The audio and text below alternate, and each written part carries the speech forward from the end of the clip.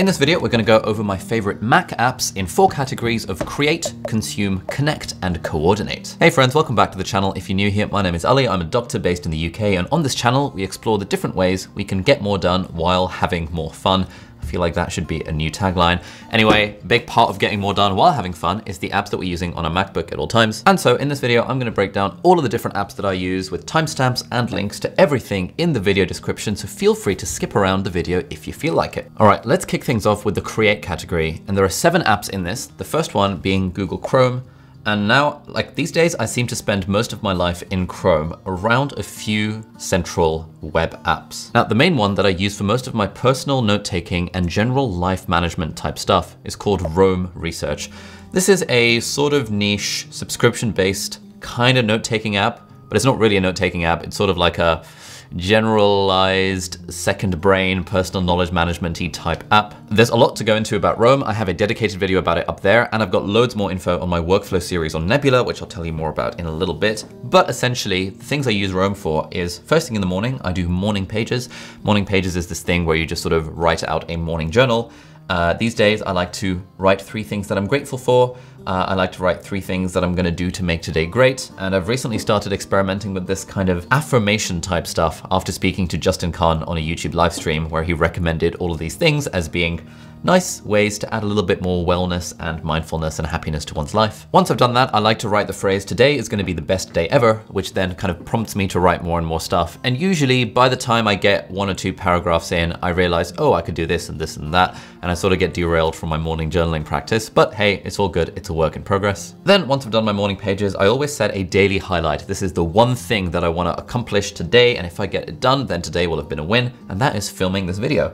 And so while earlier today, I was sitting on the sofa on my, on my MacBook, just browsing this out, I actually kind of typed out a lot of notes for this very video in Roam itself. I also use Roam for a lot of other things, including anywhere to-do lists and personal knowledge management and second brain note-taking and the lazy Zettelkasten method and like using my weekly reviews. All of that are gonna be coming in a video at some point. But if you wanna learn more about them now, they're all on the workflow series that I've got on Nebula. More details in the video description and I'll tell you about it at the end. Secondly, I spend a lot of time inside the Gmail app uh, on Chrome. Now, back in the day, I used to use Superhuman to manage my email. Superhuman recently has been a little bit buggy on the M1 Mac Mini and the M1 MacBook Pro. And so I've ended up just using gmail.com for most of my email management. And the thing that I like about using gmail.com rather than having a dedicated app is that there is friction. It takes a few seconds for gmail.com to load.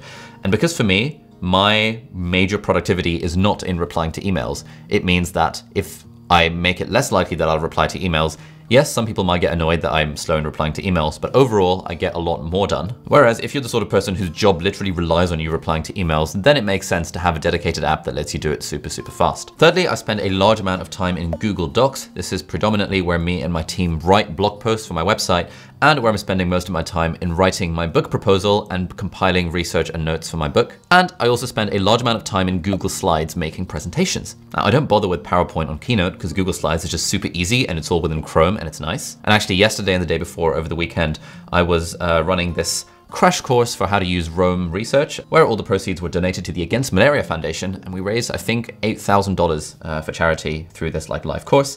And that was nice. Like it's nice using Google Slides for this sort of thing. And these days we're in the middle of cohort two of my part-time YouTuber Academy. So I spend a huge amount of time in Google Slides sorting out our presentations. And you know, this is one that we were doing around gear and finding a niche and like different types of gear and audio and video and all this cool kind of stuff. Uh, so lots and lots and lots of time spent in Google Slides. In terms of extensions, there are three that I use on a daily basis. Firstly is Video Speed Controller, which lets me speed up YouTube videos and anything else that I'm watching to like 3x or 4x. Secondly, the Instapaper Save extension. Instapaper is nice because if I want to read an article, I save it to Instapaper, then I can read it on Instapaper across any of my devices. And the best thing is when I highlight anything on Instapaper, it syncs automatically to Roam thanks to Readwise, more on that in a detail up there called the Magical Insight Logging Framework. And finally, because I'm a YouTuber, I end up using TubeBuddy quite a lot. TubeBuddy is a fantastic Chrome extension for YouTubers. It lets you see search traffic and do A-B testing and do all a load of stuff. Uh, link to a 60-day free trial if you want to check it out in the video description. So that was Chrome. That's where I spend the bulk of my time. I probably spend the second most of my time on Notion, which is another one of my favorite productivity apps. And in terms of using Roam versus Notion, Roam is what I use for most of my personal stuff, any kind of personal note-taking that I need to do, books that I've read, note-taking, that sort of thing. But then Notion is where stuff goes if it involves a production process with my team. So anything for our part-time YouTuber Academy, anything for the YouTube channel, anything for our podcast, usually goes into Notion so that I can work on it with my team. Here's our page, for example, for the part-time YouTuber Academy. Our next cohort is gonna start in June 2021. Link in the video description if you wanna join the waiting list for that. But we've got tons and tons of information that our team, that helps our team kind of manage this along with calendars and checklists and logistics and all this fun stuff. We also use it to manage our video production schedule for YouTube videos. So you can have a little sneak peek of what's going on on the channel for the next month or so. And we're also using Notion to manage a lot of the research for the book that I'm writing. So we've got research banks for every chapter and summaries of books and stuff that me and my team are reading to try and create this book that I'm ultimately trying to make in the next two years.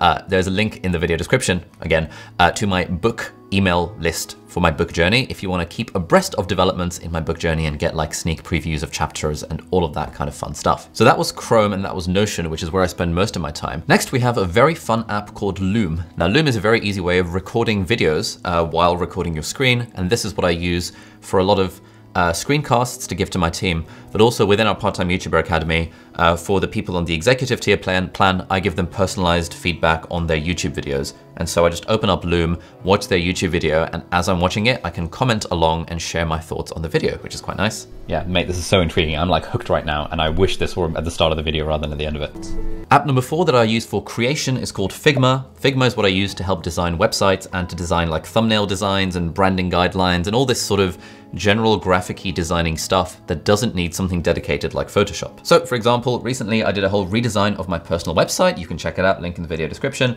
Hey friends, I'm Ali, I'm a doctor, YouTuber, podcaster, this sort of stuff. And so I was making all of this stuff on Figma and Figma makes it like super easy to move things around and like you know, do cool stuff like that. And we've got designs for different types of blog posts. So for example, the ultimate guide to studying for exams, bit of emojis, we've got a bit of a table of contents going on, we've got a nice little sidebar over here. All of this was stuff that I designed in Figma and then handed off to a developer called Dan who coded it into our theme, which was running on Ghost, the website platform. We also have a nice little book summary section, which I think looks, looks kind of pretty, and we're working on building that up on the website as well. And we're also using Figma to design all of the materials for mine and my brother's weekly podcast, which now has a YouTube channel. Again, you can check it out linked in the video description. And so on Figma, we were kind of figuring out what's the YouTube cover banner gonna, gonna look like, what are the thumbnails gonna look like. And so me and my brother are still going back and forth about this, but we think we might try and design the thumbnails to look something like this around emotional roller coasters or whatever the title of the video might be. And the nice thing about Figma is that it's free and you can use it with a team. And it's usually all in the browser, but they do have a Mac app as well, which I have on my MacBook Pro and on my Mac Mini. So if you're interested in any kind of web designy, graphic designy stuff, 100% recommend Figma to dabble with. Next on the list, we have an app called Day One, which is what I use for journaling. Now I have a private journal, which I'm not gonna show you because I always accidentally show screenshots of it.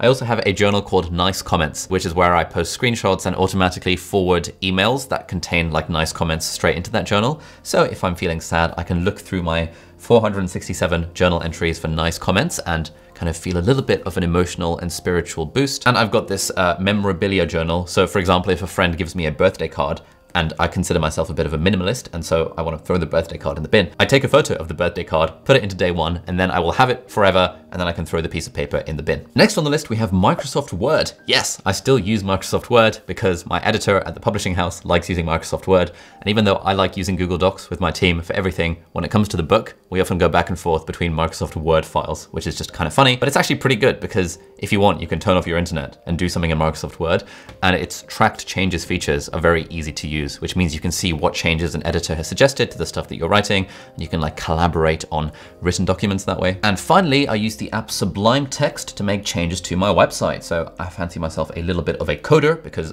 I used to code quite a lot when I was younger. I don't do it that much anymore, but I still know enough about coding to be able to tweak bits of my website and add stuff here and there when I want to. And Sublime Text is just the code editor of choice that I've been using for the last decade, and so I've got no reason to switch to something like Visual Studio Code, which I think a lot of people are using these days. Next, let's move on to my consumption apps, and there are three broad things in this list. Firstly, we have the Kindle app. Kindle app is absolutely fantastic. I use Kindle across all my devices, phone, iPad, and an actual Kindle. And the nice thing about having it on the Mac as well is that I can very easily flick through my highlights of the books that I'm reading and I can highlight things. And because I highlight things, they get synchronized with Roam and Notion automatically. More in that video over there about the magical insight logging framework. Next, we have the app Instapaper. I use Instapaper on Mac to read articles. And then again, when I highlight them, they synchronize automatically with Roam and Notion, thanks to Readwise. And thirdly, on the consumption front, I use Spotify for all of my music of choice. I would dearly love to switch to Apple Music so then I can be 100% in the Apple ecosystem but every time I've tried, it's just been so, so, so bad compared to Spotify. So I just absolutely love Spotify. By the way, check out my Spotify profile, linked in the video description if you want to see what sort of music I like. Next on the list, we have Connect. Now, these are apps for connecting and communicating and making friends and maintaining relationships and all that fun stuff. Firstly, let's start with Zoom. We're all familiar with Zoom. We know what Zoom is. I seem to spend most of my life on various Zoom calls these days. But what you might not know is that there is another amazing app called Grain. And Grain is really interesting because Grain automatically can record your Zoom calls and it can transcribe them. And so if I'm having a Zoom call with someone, I know that there's always a transcript of it that's available. And even while I'm doing the Zoom call, I can take notes within the Grain app and then it flags up the points where I was taking notes in the transcript. And so, for example, I'm having loads of interviews and phone calls with people around my book these days. And so if they say something particularly interesting, I can just do a little star emoji on Grain, and then I can find that point if I ever need to go back to it again. So Grain plus Zoom is absolutely amazing. I've also been spending tons and tons of time on Zoom because we're running my part-time YouTuber Academy and we're using Zoom. Uh, I think we're paying like 400 pounds a month for Zoom for all the various features that we use. We're using Zoom for that. And I've also been running Zoom co-working sessions with people from all around the world where every morning we get together on a Zoom call, I share my Spotify instrumental playlist, and we all do work together using the Pomodoro technique. So yeah, a lot I owe to Zoom these days. Next, we have the app Slack. Now I use Slack for most of my team communication. We also have a Slack team for our part-time YouTuber Inner Circle, which is a membership community. I also use Slack for like a ton of other things. For example, for our podcast, Not Overthinking, we have a private members only Slack group. And I think Slack is where I spend the fourth largest amount of time. So Roam, Notion, Zoom, and Slack are like my top four in terms of like actual usage. Then we have two fairly quick things. We have WhatsApp Web, which is a very easy way of replying to WhatsApp messages because I absolutely suck at replying to WhatsApp messages on my phone because typing on it is just so, so, so painfully slow. Therefore, I use WhatsApp Web, which has a native Mac app for it, which is nice. And finally, we have the apps for coordination. Now, there's actually quite a lot to talk about here. This is a topic that I'm extremely passionate about. Let's start with a few utilities that I can't live without. This is the stuff that I always install on my Mac anytime I get a new Mac or anytime I do a refresh. The first one is Alfred. Now, Alfred is amazing. Alfred is a spotlight replacement tool which means you can hit command and spacebar and you can type in anything and it opens up apps, it does web searches for you, it gives you snippets. It's got loads and loads and loads of features that are too numerous to elucidate. Elucidate, is that the right word? In one video. I also talk about Alfred more in my workflow series on Nebula, more on that in a second. Next, we have the app Moom. Now, Moom is what I use for window management. Now, the nice thing about Moom is that you can create keyboard shortcuts that let you snap windows to certain parts of the screen. Moom is mostly what I use when I'm on my huge ass 49 inch ultra wide monitor. Because when you've got that much screen real estate, it's really important to figure out like, you know, have a way of snapping windows to the middle, off to the side, off to the other side. Usually when I'm on my MacBook Pro, it's quite a tiny screen. It's a 13 inch MacBook Pro, and therefore I only really use one app at a time. Very occasionally, if I'm on my Kindle on one half of the screen and taking notes in Roam on the other half, then I'll use Moom to sort of sort out the window management. But normally, it's uh, reserved for my Mac Mini. Next, we have the app F.lux, which basically helps turn your screen yellow when it's nighttime. Uh, I know that iOS has a, uh, Mac OS has a built-in one, uh, whatever it's called, nighttime, night display, true tone, something like that. But I find F.lux to be more yellow. And because I often work late into the night, I like my screen to be very, very, very yellow. So I'm limiting the blue light exposure to my eyes, which is apparently good for you. In terms of passwords, I use Dashlane as my password manager of choice. Therefore, I can't live without it because I don't remember any passwords. They're all stored nicely and securely in Dashlane. And the app that I use to take notes um, when I'm on the go is actually Drafts. Now, Drafts is basically like Apple Notes in that you've got it across all your devices, Apple Watch, phone, iPad, MacBook, etc., etc. But it just, I just find it to be a little bit faster. And so if I need to type anything on the go, Draft is the first app that I'll open on any device. Or if I'm driving or walking and I want to dictate a note into my Apple Watch, I have the Draft widget on my Apple Watch that lets me dictate into it and that syncs across all my devices as well. And so Drafts for me really acts as a quick capture inbox which means like, you know, if I'm if I'm taking notes on something, it'll start off in drafts, but then usually it'll end up either in Roam or in Notion, depending on what it's being used for. Let's talk a little bit about photo management now. And there's two apps that I use for photo management. Firstly, I just use the box standard Apple Photos. The nice thing about this is all of the zillions, zillions of photos that I take on my iPhone or from my camera, I can just drag and drop straight into Apple Photos. In fact, on the phone, it syncs automatically, and I trust that they'll be there whenever I need them. And the people feature is cool because it helps pick out people from your photos. So let's see, this is my brother who I do the podcast with. Check out our YouTube channel, link in the video description. That's not him. That, that's me. That's not him. that's him. That's not him. That's not him. That's not him. That's him and that's him. And I can I can tag these photos of my brother and then the cool thing is that it like lets you see all of the photos that you've got with these people. It creates custom albums for them. And the cool thing is that it even generates these automatically generated videos for people in your people album. Now this is nice because if it's someone other than my brother who's kind of less tech savvy and it's their birthday who's come up, then I can send them the video that Apple Photos automatically generates with a nice like musical track in the background. And then that person will hopefully think, oh my God, Ali put the time and effort to create a custom video for me for my birthday. Isn't he such a thoughtful boy? Um, whereas obviously this is just like purely automatically generated thanks to Apple Photos. And it genuinely is just quite nice. Like this is a pretty, pretty solid, nice, wholesome video. I can watch it and it's gonna be like, oh, hello.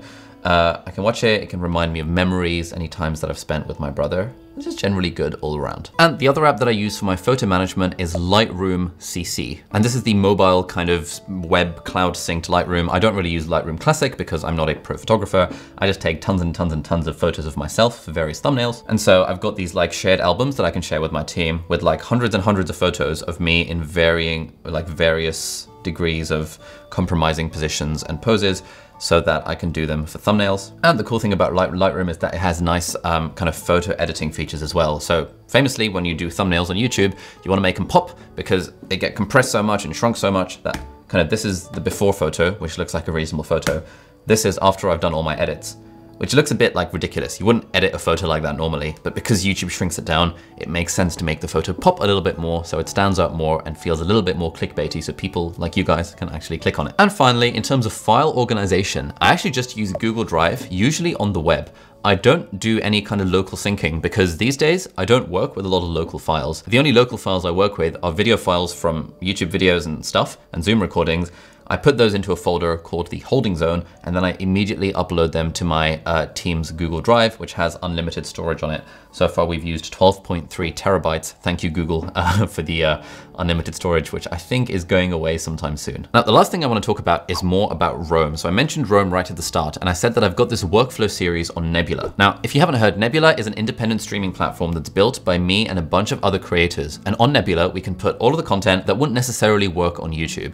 So it's not like a YouTube competitor, but if we've got like going super, super in depth about certain apps, which is what I do in my workflow series, that's the sort of stuff that's probably a little bit niche for YouTube. And so it's nice having Nebula as a store for that. On Nebula, you'll also find early access to my videos and ad-free access to those videos. So there's no ads on Nebula. These sorts of ads are taken out for Nebula videos. And it's not just me, it's a bunch of other creators that you might have heard of as well, like Thomas Frank and Wendover Productions and Legal Eagle and Lindsay Ellis and Tom Scott. Now, if you want to get access to my workflow series, where I basically teach you the ins and outs of all of the different productivity apps that I use, including Roam and Notion, the best way is to sign up to CuriosityStream, who are very kindly sponsoring this video. If you haven't heard, CuriosityStream is the world's leading documentary streaming subscription platform. And on CuriosityStream, there are thousands of really high quality, high budget documentaries that you can watch if you like. One documentary that I've enjoyed these days is called The Blockchain Revolution, which is like a very short 20 minute documentary about the history of the blockchain and how it's gonna change the world. And the coolest thing is that because CuriosityStream support independent creators, we've got a special bundle with Nebula. And that means that if you sign up to CuriosityStream for a year,